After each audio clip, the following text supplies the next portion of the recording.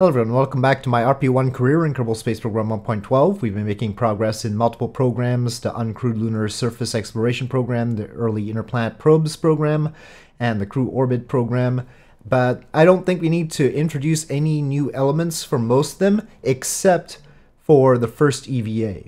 Our current pod does not allow for EVA, and so we are going to be needing something new. Now, I had previously mentioned, and I think this is going to be the general idea, that we are going to be using the Mark 1 cockpit, which seems to allow for EVAs, but I don't really like the look of the Mark 1 cockpit. Um, its functionality seems fine, but it doesn't quite have the look that I'm looking for. And so I've added some new parts. But it's a little bit difficult to determine whether I've got it all right. The goal is for these parts to be just the exact same thing as the Mark 1 cockpit. And uh, I thought about just replacing the model of the Mark 1 cockpit, like just deleting the original one and putting the new one in, um, and that would probably solve the problems. But that was probably a bad idea and I decided to make a parallel part and then try to copy all of the relevant configuration changes to it.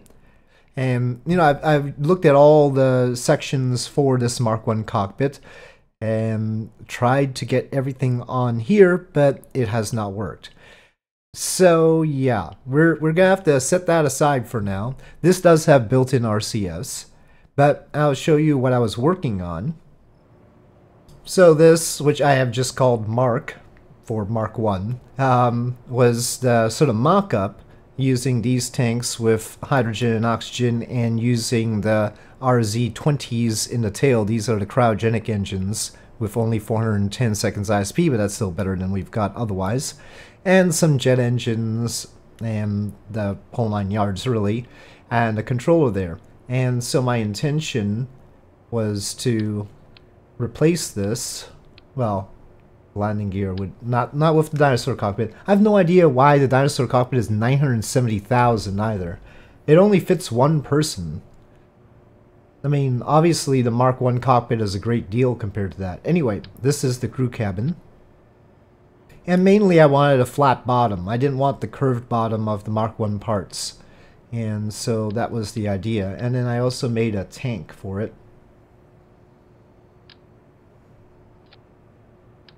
And the goal is, oh, I need to, I guess I messed up on the node on the tail, but the goal is that they should be exactly the same as these.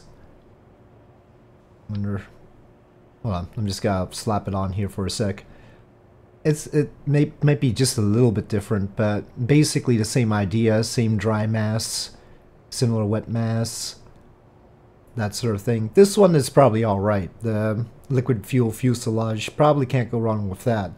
But the cockpit, if we take a look, this has some visual acuity, a star occultation navigation. I mean, the configurations put the crew report and telemetry analysis in here, but it didn't put those other things. And I have no idea where the heck those other things pop in and get added to that. So, yeah, I haven't even seen those before. But I mean, this uh, did get the communication, but it didn't get avionics. so, hmm. Should be interesting. Um, uh, so I'll have to work on it in sandbox mode to get up to snuff and make sure that it's actually properly functional and equivalent to this. The idea, the general idea was sort of a mix between the Gemini cabin and the Dyna-Soar. And hopefully we have an actual functional hatch there so that they can EVA out of that. The configurations for these things is, are just, they're all over the place. Let me put it that way. Anyway, so that's coming up hopefully. Alright, so at ELA-4 we're going to begin the construction of three new geostationary satellites that hopefully will be able to communicate with our spacecraft in orbit as they await a transfer. And we are using UHF band 40 decibel meters, tech level 3, and the range of solar panels. Hopefully that'll be enough. and we'll place them in geostationary orbit. It seems like there'll be enough. I mean, obviously I did try to take a look. Oh, we really don't need the infrared radiometry on board. I'll get rid of that. Okay, so yeah, antenna planning, not on that, on here. Actually, for some reason, sometimes the communication section just disappears on the avionics. I don't know why. There isn't one right now. So yeah, 50,000 kilometers. It looks like only with another UHF 40 decibel meter thing will it be able to communicate. At 30, it's no connection. Well, that's a high requirement, but we'll try for that. We're also going to start construction of our rendezvous and docking target for our crewed vessels, and this is it, the Ariane docking target, launching on an Ariane 1. We haven't seen one of these before uh, for a while, and we're constructing it on ELA 2. We really don't need much more since it's just going to low Earth orbit and hanging out, so uh, it does have the communications beefed up so that it can communicate to the eventual geostationary satellites if we need to. So it's got all that business. And it's got the interplanetary avionics. Three tons of control, even though we don't need that because we've only tooled three tons of control here. I don't want to tool a new one, so we might as well use the same controller. And uh, we've got some fuel. It's an under underutilized tank because we don't need to fully utilize it since, again, it's hanging out in low Earth orbit anyway. Um, maybe we can pump it up to at least one ton. I think this controller is still a 10 ton controller. Where is it? Yes, it's a 10 ton controller. Okay, so we'll have some of that, and we shouldn't need to tool anything. We don't. It says unlock cost, so I'm wondering what that's about. Oh, the docking port. Yeah, okay. Well, fair enough. We'll be needing that anyway. So we're building one of those. But we'll need to move some staff over to the old pad here. Well, we'll need to fix up the Dionysus so that I can do the docking. I think we'll have the docking port on the tail, on the service module, rather than on the nose, so we don't have to change the pod any. Okay, so I've adjusted the stage here so that there's less fuel for the Viking engine and more fuel for what is now the Larches. We've converted them from the Gamma 2 to the Larch, and so hopefully that'll help out. We, we will try to limit the thrust weight ratio there. Here we'll max out at 5.6. Still not great, but um, we'll work with it for now. And now we have a docking port here, and instead of 2 kilonewton, uh, the 3.6 kilonewton thruster, I guess it is. Uh, we are using uh, just uh, four of these guys, and that's more thrust than we had before. We're still using HTP because the pod uses HTP, and it just seemed more convenient to use the same fuel that the pod is already using for its RCS. And we've got, you know, full docking RCS arrangement and all that business, so hopefully it will work out for us but we will see. It is a propellant-only docking port anyway, so doesn't matter if it's docking down here. Um, we wouldn't be able to send crew through it anyway. So that is the idea. Alright, and those edits are due to take five days, so that's not too long. In fact, I don't think we have a Kerbal ready to go for this mission anyway. They are uh, gonna take until June 15th for their proficiency there. The main struggle is getting these Kerbals ready to go for another mission, really. Well, the next thing we're gonna do is try to land on the moon since we don't have any Kerbals ready and we're still building the docking target and the geostationary satellites. They're all still being built there. Um, I don't know how long they'll last once we launch them, but we'll give it a go. Anyway, so on to the moon again. Okay, here we go for the moon landing again. SAS on, S SAS on. Uh, throttle is working, and ignition. And we have one engine loss. Um, we'll roll it back. We'll roll it back. we'll try that again. I've really had enough of the engine losses on this moon landing sort of stint. We keep losing engines. We'll have to pay attention to our Mars mission, our Mars flyby mission, while this is rolling back out again. Seems like it's actually still properly pointed at the sun and everything around here. Very nice. Incidentally, I already took the liberty of fixing up the new spacecraft and I've got the avionics on it and also the experiments, so I figured out which configurations had that sort of thing. And so we're closer to getting it to the Mark 1 cockpit.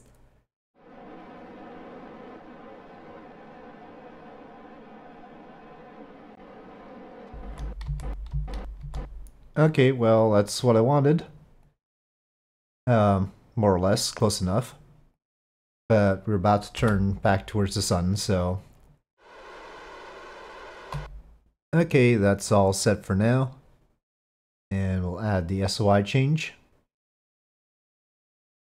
Okay, we'll pay attention to this again in 133 days. Okay, can we actually land on the moon now, please? Throttle up, SAS on, ignition. And launch. We're through the clouds and past the speed of sound. Okay, booster set. And stage set. And fairing set. Okay, separation and ignition.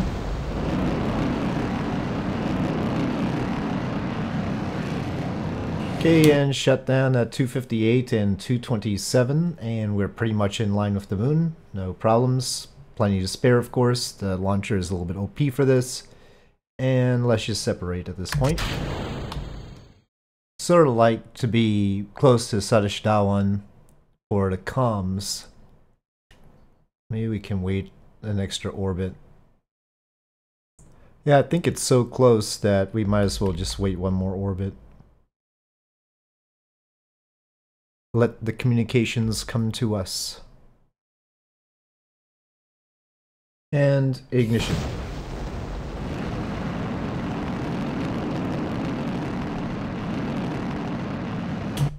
Okay, a little bit too much there.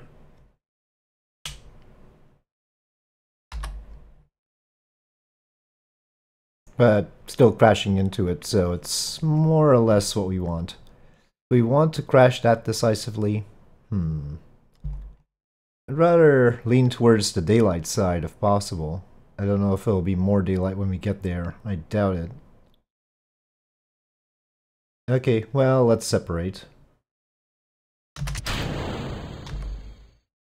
It'll be pending uh, communication and lighting review, but we'll go for something like that for now. Okay, how does that look? Uh, that seems a little bit not facing Earth. I think I'll take the dark. Uh, we're uh, definitely trying to stay in communication here, so we will eschew the daylight if necessary. That seems like it'll be okay for comms. We're like heading right north of that Looney Zero and that Lunar Orbiter 2. Okay, ignition. Okay, that was too early again. Let's wait. Again, I can't completely trust the suicide burn countdown because we have another stage to deal with. Basically, when this stage finishes, we would like the time to impact to be, well, definitely not more than 2 minutes and 46 seconds, but not a whole lot less. If this doesn't work this time, I'll definitely aim to get into orbit and then land. I am certainly more used to that. Okay, and at this stage, And Okay, let's wait that 18 seconds. Okay, with a little bit of leeway. Uh, we remember what happened before with that leeway. Okay,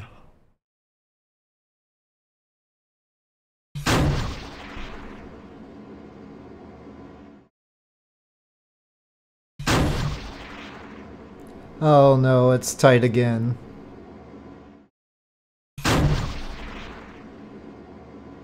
No.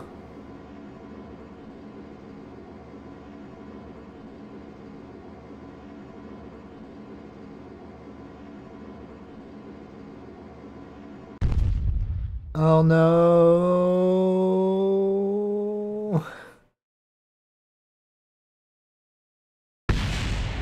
Oh, oh, okay, okay, okay. Done residuals.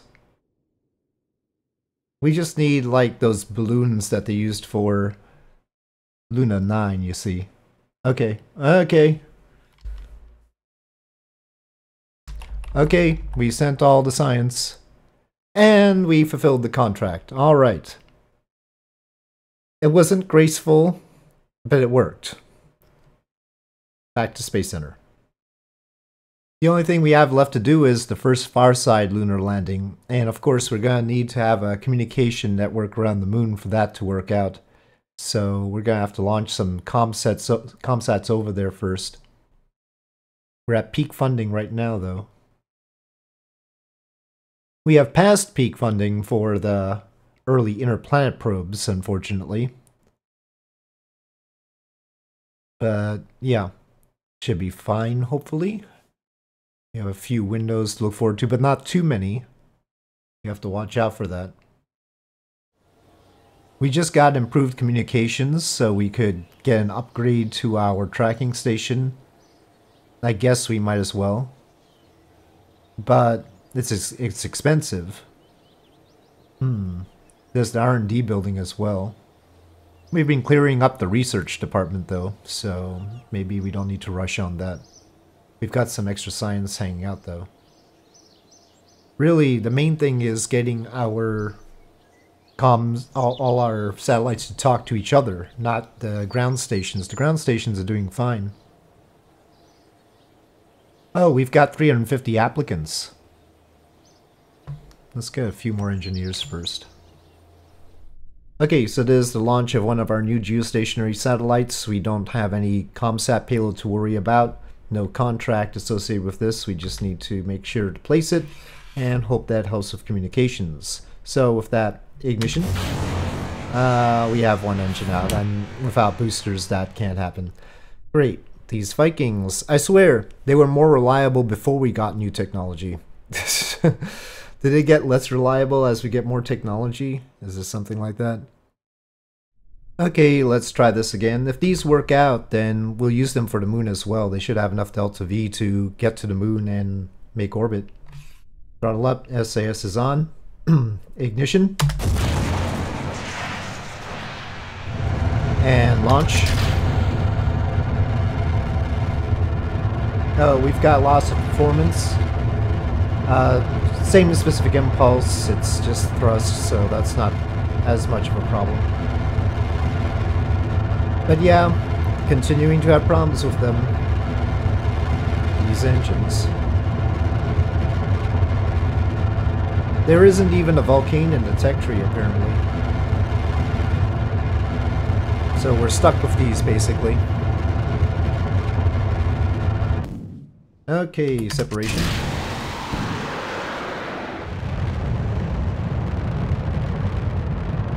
Bearings.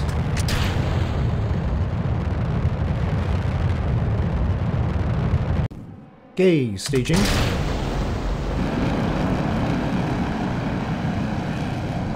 Three larches, or larch twos. And shut down 319 by 181. And that's more thrusters than I was expecting there. Okay, separation. We don't have to be picky about our geostationary orbit. But as with the previous geostationary satellite launches, I think we'll wait one orbit so that we can use Kano properly as our com site. And ignition.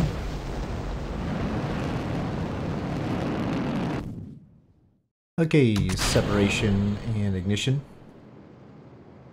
I mean, we could have a bunch of satellites lower. Geostationary is a little bit far away. Requires the antennae to have more power. This has lots of extra delta V. Okay, that's good enough. Okay, we're probably a little bit late actually ignition. Yeah, I'm not really getting the inclination close to zero or anything. And, you know, we're going to end up turning anyway. We'll try and get it close to the right period, but just as I turn, it increases by a minute anyway. Yeah, well, okay. It has decided. that that is the period that it will go with. We're spinning, and I'm shutting down the avionics. Okay, well, it's certainly recharging, and it should work for quite a while. But will it actually provide us with good communication relays? Well, we will find out. One other thing I have to fix for my for my spacecraft, the special one that I made, is it has to... Oh, I think I've. Oh no, there's proto space plane. Has to be here. Yeah, okay, it's here. Alright, I added it to the proficiency, the proto space plane proficiency, because that's where the Mark 1 cockpit is. And you can see the Maya spacecraft crew cabin. That's just that's the one I made. So, okay, well, that proficiency should work with my new part, so that's good. But we're really waiting for our Kerbals to finish training here. Viola will be ready by April 30th. I think we're going to do the rendezvous and docking in the next episode. We'll need to train her for the mission too, so... And then she'll finish the mission training by July 7th. Uh, any way we can speed this sort of thing up? the training part? Can we get them to cram school or something? I'd hate to see what training for the moon is going to be like. I'll get the tracking station upgrade. Let's see, we probably have some unlocks to deal with. Comms level 4. Solar panel tech. The MLI layers, well, I better get them now before I forget. Fiberglass fairings. I guess so. Yeah, well, we're still waiting for Viola to finish training and those two to finish training. I won't launch the target yet. We'll just launch another Geosat to finish up this episode. Okay, SAS on, throttle up, ignition. And we've lost another engine. Fine, fine. Um, roll back. Okay, let's try that again. Uh, it is dusk, but that seems like a good idea anyway. SAS on, throttle is up, ignition. And launch.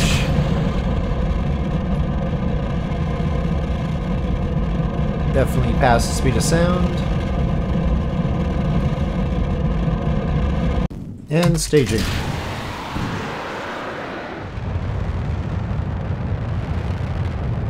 Fairing set. Staging.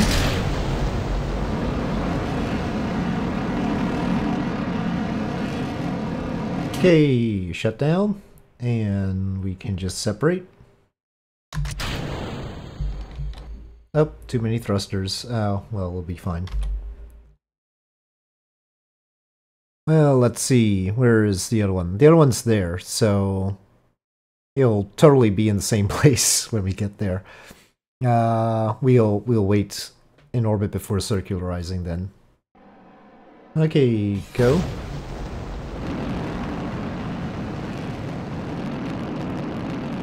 I probably should visit the intermittent ones. Or we're looking at them cause sort of a wave function collapse and then they'll just stop working entirely. I don't know. Got two of them that blink on and off. Okay, staging.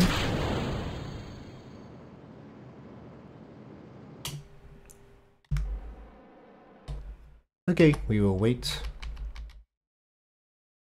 Ten and a half hour gap. Not exactly what we want, but you know. Okay, ignition.